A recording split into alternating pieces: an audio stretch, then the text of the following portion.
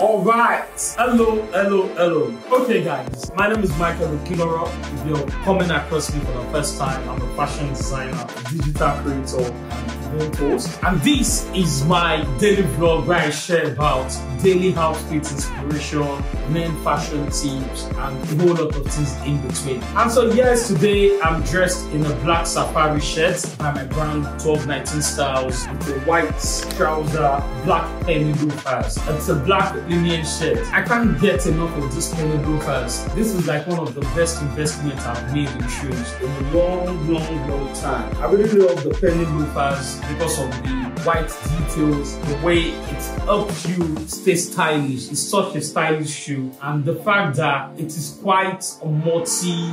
Um, what's that word called again? What I'm trying to say is that it is a multi-purpose shoe, meaning you can wear it a good number of times over and over again. You can style it with different outfits.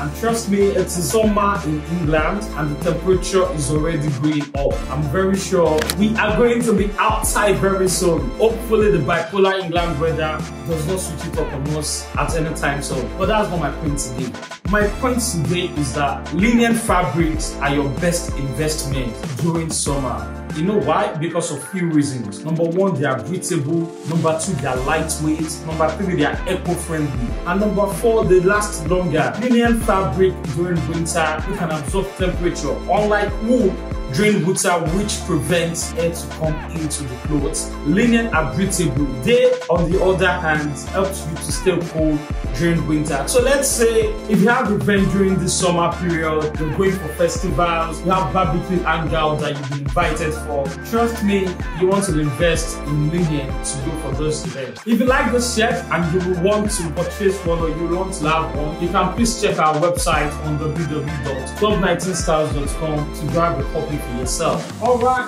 and so I will see you on another day on my daily vlog.